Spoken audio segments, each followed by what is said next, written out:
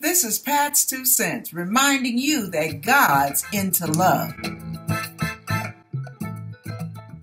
Well, according to a couple sites where people uh, are been watching the moon stars, Yeah. etc., they're saying that uh, there's some kind of magnetic anomaly that is coming into the Earth, which, by the way, is probably Nibiru, and uh, it's going to actually drag the Earth closer to that huge, huge magnetic planet because we all have magnetic, you know, components. Earth does, and, and this uh, Nibiru does. Well, anyhow, so what's going to happen is as we're pulled together closer, everyone's going to be able to see in the sky. A third of the sky is going to be one huge planet staring us in the face. It's written. That's true. That's right. That's right. It's written. Matthew 24. That's right. And so what? What? And then what's going to happen is as this this Nibiru goes a little further away, we're going to be sort of tousled and this and that and the other, and we may have a pole shift at that point.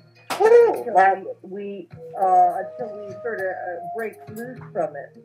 Then they were saying that in um, uh, July, uh, sort of getting mid-July, going for the next two months, are going to be incredible amounts of asteroids that are going to be uh, hitting our planet, and, Oh, and we're going to go, be going through a huge belt of asteroids. Keep in mind that wormwood, I don't know what portion is wormwood, and that is going to basically get uh, all the, at least a third of the rivers and streams and lakes totally polluted and Yeah. uh, bitter, which is sort of probably arsenic, is what I've heard in the past. Yes.